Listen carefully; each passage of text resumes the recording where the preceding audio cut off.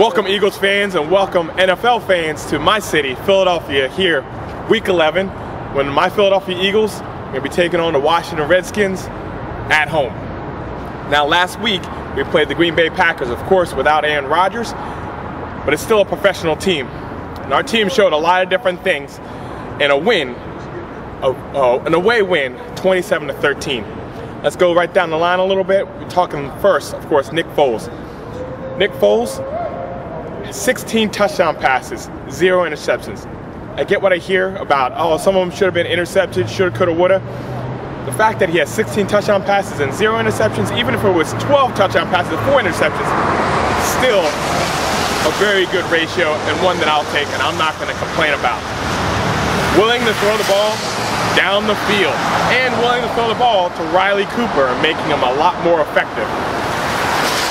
And something people aren't talking about so much. He is willing to run, and he's actually been pretty effective in getting first downs. So that's good. LeSean McCoy has about 150 yards rushing. Everybody thought that his pr progress is going to drop down after Michael Vick wasn't going to be in because you don't have that threat of Vick running. Doesn't matter. LeSean McCoy still leads the league in rushing yards and looking to go over a thousand this week.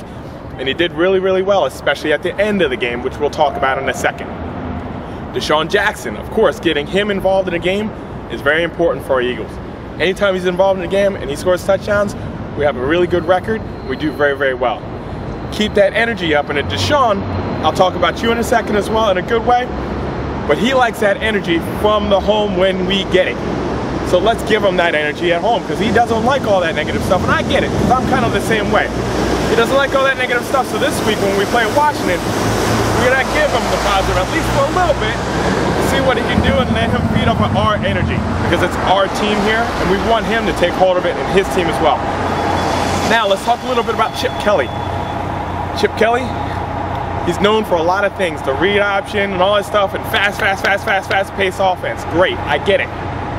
One thing Chip Kelly that you proved this week, you knew how to slow it down. We did really good, scoring some points, and then nine and a half minutes came in the fourth quarter. And then what did we do? We got to the line nice and quick, made that defense get to the line nice and quick, then we slowed it down. Started on our eight yard line and started marching down the field. I think a lot of teams in the NFC or in the NFL are going to take note of that because I don't think Chip Kelly has showed us everything that's in his plan so far. This is just the beginning. Chip Kelly has now showed us a little tidbit on how he knows when to put the foot on the gas and when to let it go. So our defense made Green Bay punt it away with nine and a half minutes left in the game, and then they didn't get back on the field in a good way. And we held on to our lead and won the game. So very good job, Chip Kelly. Now, this is just for Philadelphia, man. I'll tell you what, the last game that we the last games we played at home kind of ripped our hearts out because we were really ready to start jumping really on board. Now, you know I'm on board, of course. I mean, what other nutcases out here doing this mess in the middle of the night? You know, we're trying to get on board as Philadelphia fans, but you know, we came home and we played against Dallas, and, and first place was on the line. And we stunk it up. We scored three points. In the next game, we almost got shut out against the Giants. And of course, you saw my video, and I was pretty pissed. And it's almost like we are trying to believe, and then our hearts got ripped out of our chest with Dallas, and then stomped on against the Giants. Then we went away where we know how to win, and we went against Oakland and blew them out. It was great. Then we went to Green Bay and won again. Now we're home again. Now we need to win for a lot of different reasons. And I know I talked about uh, we shouldn't really worry about the playoffs too much this year. Yeah, would it be good? Yeah, it would. But we have to be winning at home. Even when we want a good team here, in Philadelphia, one thing we did is took care of our games at home. Even when Dallas was winning the Super Bowls and all those other teams were going out and doing some great things, we still won at home. Even last year, we beat Baltimore here in Philadelphia. We need to start winning here in Philadelphia. Now, of course, I'm going to talk a little bit about how Dallas is on our bye week, and we can take sole possession of first place in the NFC with the win. That's an afterthought. But we got to send a message to the NFC East we got to send a message to the rest of the NFL that when you come to Philadelphia, you're not coming here for a win. You're coming here to play hard football and to be leaving with a loss. So there's a lot of things to think about here in Philadelphia. There's a lot of things to think about um, with Washington coming in. And one thing that we're not talking too much about, but we got to think about it, is our defense. Our defense is actually playing a lot better. And we made some trades. I know Isaac went over to, I think, New England. Ever since, our D line is actually doing a little bit better. The points that we've been giving up, it's been getting less and less and less every week. It's gone from 21 to 20 to 17 to 15. Against Oakland, I'm really going to call that 13 because that other touchdown was kind of a trash touchdown against our backups.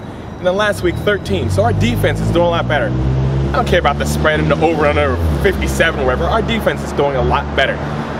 Our young corners got to get their heads around, of course. And I still think there's a need to draft for safety. We need to still draft some more uh, linebackers.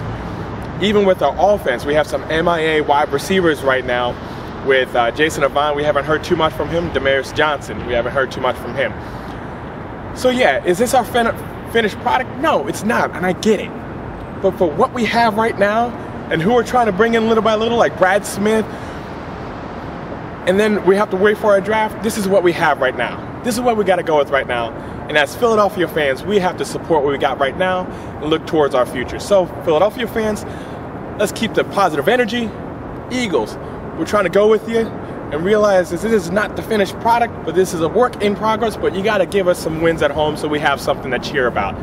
And all in all, let's just win. Let's have a good time doing it. Let's pull all of our heart out, heart out there, like I was saying before, like like our AI over in, in, in the Sixers. Let's continue to bring our heart not just away anymore. Let's do it here at home. So here from Philadelphia, from Broad Street, let's get off our birds. Let's bring home a victory. Let's break, let's let's beat Robert Griffin III and the Washington Redskins and send them back to DC with their season over and ours just really beginning. So thanks for watching. Appreciate all the comments out there from my YouTube viewers. I appreciate it from the heart. Let's go birds. As we always do, E-A-G-L-E-S Eagles! Beat Washington. Fly,